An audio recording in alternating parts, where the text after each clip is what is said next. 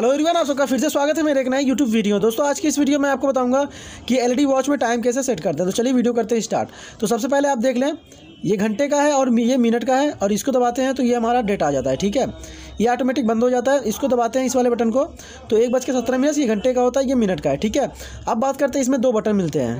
पहला ये और दूसरा ये। इसको इससे टाइम देखते हैं और इससे टाइम को सेट करते हैं क्लियर अब देखिए, इसको दबा दिया हमने, एक बज के सत्रह मिनट हो रहा है, इसको एक बार दबा दिया, ठीक है? अब हमारा टाइम सेट करने का टाइम आ गया।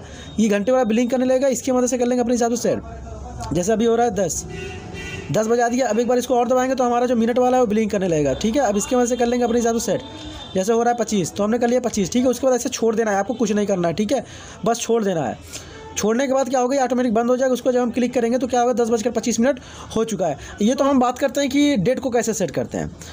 तो डेट सेट करने के लिए आपको क्या करना है? एक बार इसको दबाना है। एक, दो, तीन बार इसको दबाना है। जब तीन बार इसको दबाएँगे तो हमारा ये जो महीने वाला ब्लिंक करने लगेगा, इसके मदद से कर लेंगे अपने हिसाब से सेट तीन, चार, पाँच छः सात, आठ, नौ, दस, ग्यारह, बारह। बारह महीना एक बार इसको दबाएँगे तो तारीख ब्लिंक करने लगेगा, इसकी मदद से कर लेंगे अपने हिसाब से सेट आज हमारा तारीख है चौबीस, ठीक है? तो हम इसको कर लेते हैं चौबीस, ठीक है? उसके बाद इसको छोड़ देना है। क्लियर इसको छोड़ देना ऑटोमेटिक ये बंद हो जाएगा, जैसे कि देख रहे हैं, ये बंद हो गया। उसके, एक बार इसको दबाएँगे तो हमारा आएगा टाइम एक बार और दबाएँगे तो ये आएगा हमारा डेट तो उम्मीद करता हूँ कि मेरी ये वीडियो आपको पसंद आएगा। मेरी वीडियो अगर आपको पसंद आए तो एक लाइक करना चैनल बनाए नए तो सब्सक्राइब करके बेल आइकन प्रेस कर देना। चलिए मिलते हैं नई वीडियो नए टॉपिक के साथ। रखिएगा अपना ख्याल नई वीडियो के लिए तब तक के लिए बाय